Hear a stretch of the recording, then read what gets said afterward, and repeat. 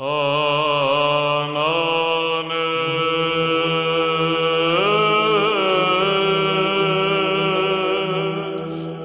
there! Today we're going to talk about this pen. Twinkle Twinkle Little Star. How I wonder how you ended up on that box. But I have a suspicion, I won't go into that now. Um, what could this be?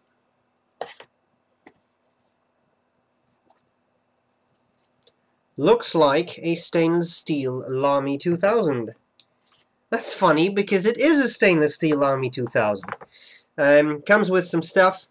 Um, a little booklet which deals with people like Gerd Alfred Müller, the person who designed it, um, awards it won, etc. Comes with a, a warranty policy, a very interestingly sized booklet you got there. Uh, Lamy Products warranties its writing instruments for the life of the product. If repair is required other than from abuse or misuse, then for $9.50 handling and return postage charge, Lamy Products will repair, refurbish, and return any Lamy instrument. Well, isn't that funny? And then there's a little credit card for a second there, I thought Lamy gave me my personal Lamy credit card with unlimited credit to buy pens there, but unfortunately, it's just a, a guarantee card sheet. I think the box is pretty nice. So this is a little, you know, sort of a folder where those those those papers went into. I, I just shown you, you know, something like that. Um, then you have the pen, of course. We'll come back to that. And then you have a little cloth. Now isn't that funny? I think that is brilliant because metal parts, especially shiny metal parts like this clip, you know, they have a tendency to, to you know, attract fingerprints like a magnet. So this way, you know, very, very nice. Okay, so the Lamy 2000 in stainless steel. What makes it so special? Well, what makes it special is the fact that it's made out of stainless steel, because this is its brother, or sister, whatever you like to call it, um, which is made out of Makrolon, and this is stainless steel. Is it heavy? Oh yeah. I'm just reaching for my scale here. It's nothing too fancy. The Makrolon version, not inked up, so add a little bit of weight for the ink. What's that? That's about 25 grams stainless steel version is inked up well it says almost 60 I think I read 54 so it, I mean it's just a, a, very simple analog scale so uh, I'm assuming somewhere in the 50 plus range is, is very adequate. It is a lot heavier. Apart from that I mean the pen is pretty much the same right it's just a different material it's it's just a 2000 except this is stainless steel. So what I'll do, I'll cover the parts of the pen, tell you what I like about it, what I don't like about it, and I'll do a writing sample. The pen is cool. This is undeniably true. Let's start with the cap. The cap has this nice little thing on top, uh, which is a bit reflective. It looks more reflective than it is probably because I got a window right there and light is you know, shining on it. I cannot see myself in there, but it is fairly shiny. Uh, the clip on the other hand, that's a completely different ball game. You can probably see that. Um, what you're looking at right now, I'm not sure. Probably the houses on the other side the street here. This is a mirror, mirror finish, so I can see myself, you know, pores and all. It's it's a very nice um, polishing they did there. Okay, then it says Germany on the inside of the clip. So you can't see it on the outside. You have to look on the inside. The clip is spring-loaded. I always, I almost feel sorry to do that because I get fingerprints on that nice shiny surface, but it's sort of spring-loaded clip, which is very useful and very easy when you put it in your shirt pocket. You can just pull it out and not ruin your pocket. Um, we have the cap. Uh, the cap is an interesting shape. it says Lamy on the back. You probably can't see it, but it, it does actually say that. Uh, Lamy on the back of the, the, the cap on the other side of the clip. And that's it. The barrel, very unique shape, I think. Um, I mean, it's not like we've never seen this before, but with this and the, the, the flat end on both sides, um, makes for a very unique profile, which I think many pen lovers will, will recognize. Uh, and of course, it's the same with the, the Makrolon version. uncap it. It's uh, a slip cap. We still have, uh, these things have been referred to as a lot, the dog ears or whatever, two little metal things that sort of stick out. Um, I'm not sure how well you can see them. You can see one right there. Uh, they keep the cap in place. Is it a big issue? For some people it is. They, they think that this entire surface should have been smooth. I would have enjoyed that. I think it would have been even cooler, but they're so small, I can't really say they, they absolutely, you know, bother me or, or, or, or anything.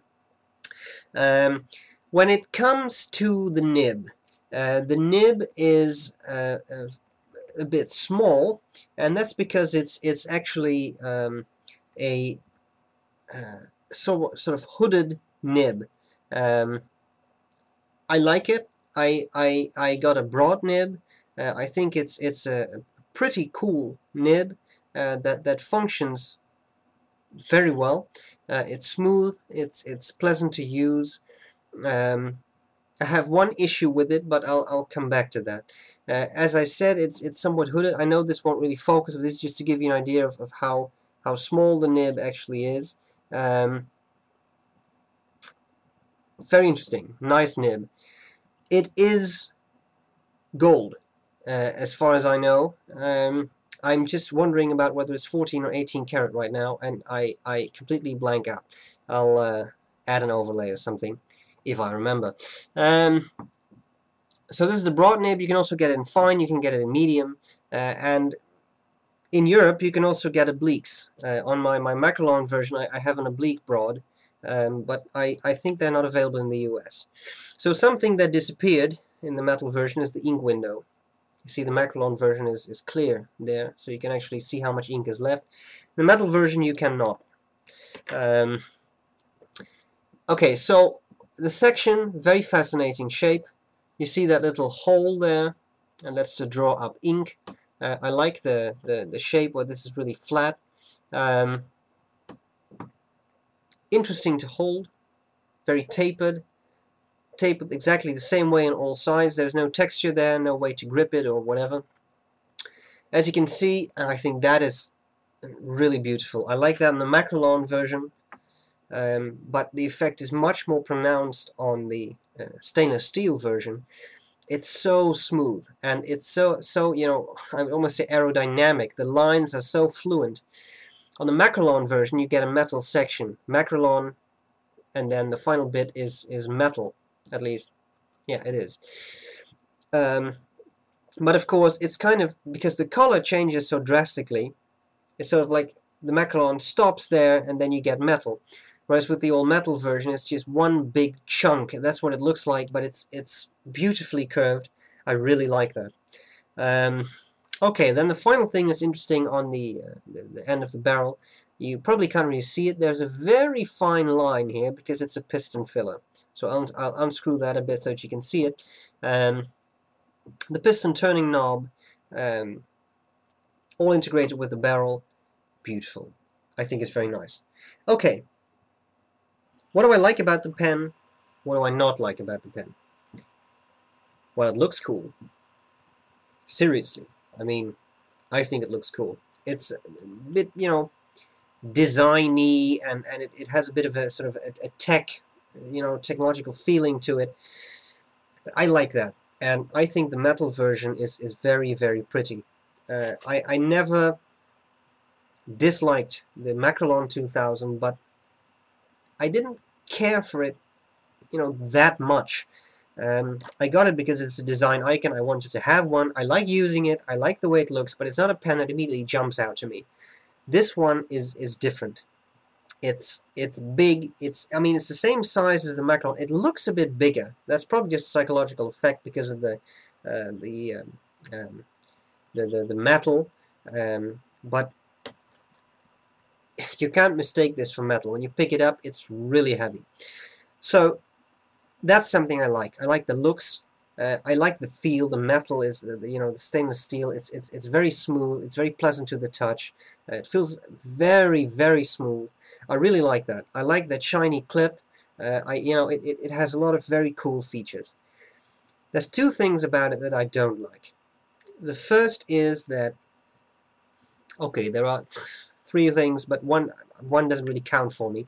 When you post this, it gets really heavy um, because the cap itself take out the scale again um, the scale itself comes down at a good 20 grams which is more than some pens weigh so when you put that on it's it's very top heavy but I don't consider that to be a big issue because the whole pen is heavy. That was to be expected. And you can I mean you don't have to put the cap on for weight when you write because it's a heavy pen. So two things I really don't like about it. The first is that one of its blessings this all you know nicely rounded uh, section I think it looks great. But I personally have one problem with it which is that when I write the nib rotates a little bit. I'll show you that when I'm doing the writing sample but it's it's really an issue um, because at some point you know you you the, the sweet spot of the nib is no longer touching the paper and the pen just skips now that may be my complete lack of motor skill I'm, I'm not sure whether I'm the only one who, who experiences that but it's a bit of a problem.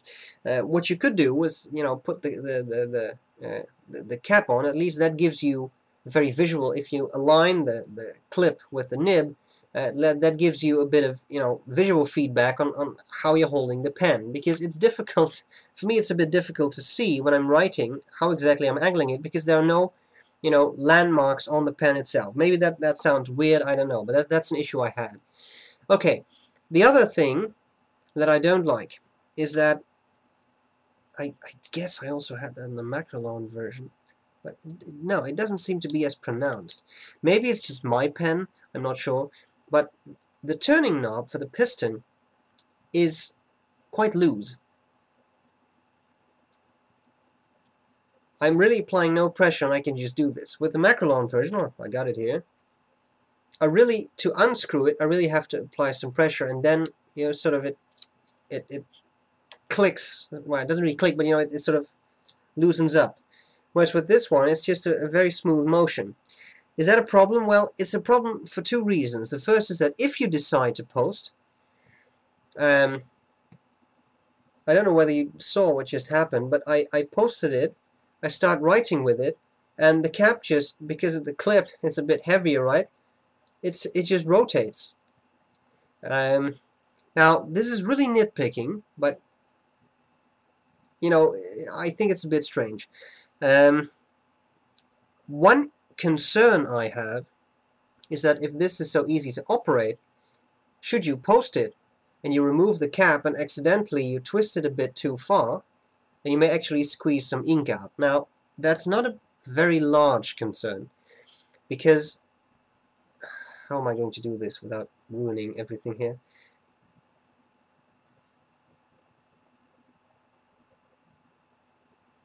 I'm still squeezing, squeezing, squeezing. There's still no ink coming out, and I've gone pretty far now. I did some writing, so it's not 100% full, but it's it's not empty or anything. Um, so it's not that if you do this, then ink will, you know, squirt out or anything. But still, I I would have preferred it if the the turning knob would have been a bit more tight. Apart from that, great pen, obviously great. But the big question is it worth the extra money? Because it's quite a bit more expensive than the Makrolon version. Is it worth the extra dollars, euros, etc.? I'm not convinced. I'll be completely honest. I like the Makrolon version, and I'm sure that you know production costs on this pen are higher, and maybe the margin of profit is smaller for Lamy. It's a very cool pen, but is it worth that much extra? I'm not sure. The nib is what does the writing, and that's the same as on the Makrolon version. Um, the only thing you get is a heavier pen, and of course a pen that looks different. I mean, it looks metallic and not macrolonic. Um, but is that worth it? Is the added weight worth that much money? I don't think so. I, I don't think I would buy it. I, I, I was able to get a good deal on this, um, but for the full price, I'm not sure whether I would buy it, even knowing how well it writes. And of course, that's just my personal opinion. What I would like to hear is from other people who have this pen, who've bought it. Do you think it's worth it? Do you think it's it's worth the extra amount of money? Maybe it is. It's just that I've got the feeling that it isn't, but you know, maybe you disagree. I, I, I, am really interested in your opinion. So just let me know. Uh, this was a lot of talking, so I think it's it's really time we move on to the writing sample. I, I hope I haven't bored you to death, and um, that's all there's to it. So I'll see you later, and um, bye-bye. Okay, writing with the Lamy 2000M.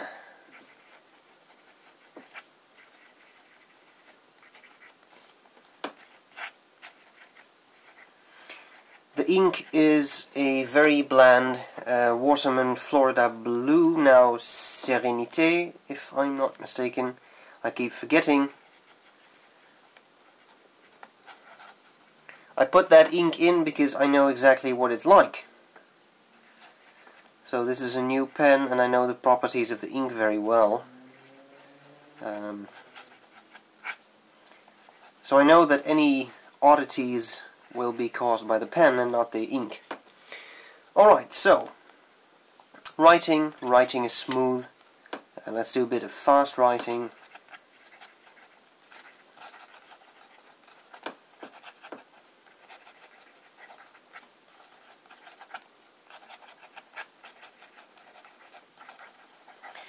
Now what you may see is that occasionally the pen skips a bit and I, I have the strong suspicion that this is quite simply because the pen is uniform, right? It's exactly the same on all sides and I notice that when I am writing uh, sometimes the pen seems to rotate a little bit in my hands. I'm, I'm exaggerating now, but you know the, the the difference between this and and this is not that large. So it's it's for me it's it's easy to, to rotate the, the pen while writing. And on my, my Makrolon, my, my regular uh, Lamy 2000, uh, I have an oblique nib. And then it's no, not such an issue because you have to rotate the pen for it in order to write well. But with this regular broad nib, uh, you do notice a bit of a, well, this, this issue, I think. Still, it's a very nice nib. I mean,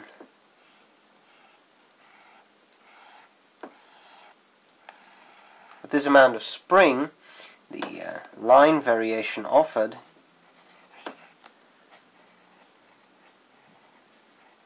is quite nice.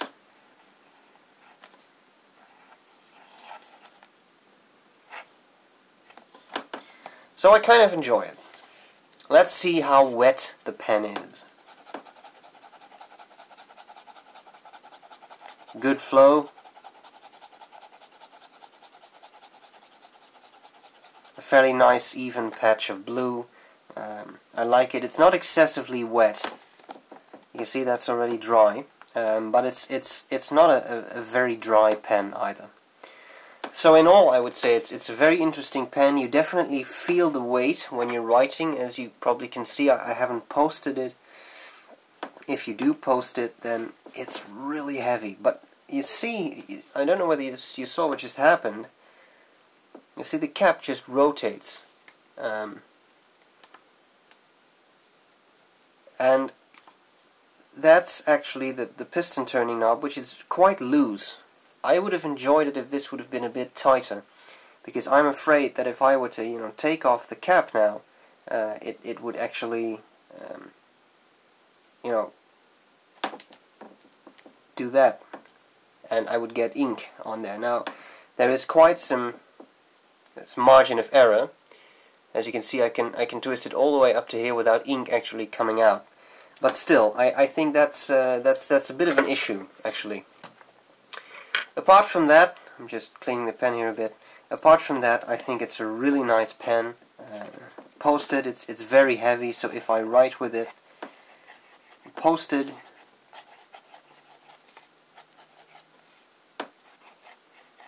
this was again that, that rotation issue.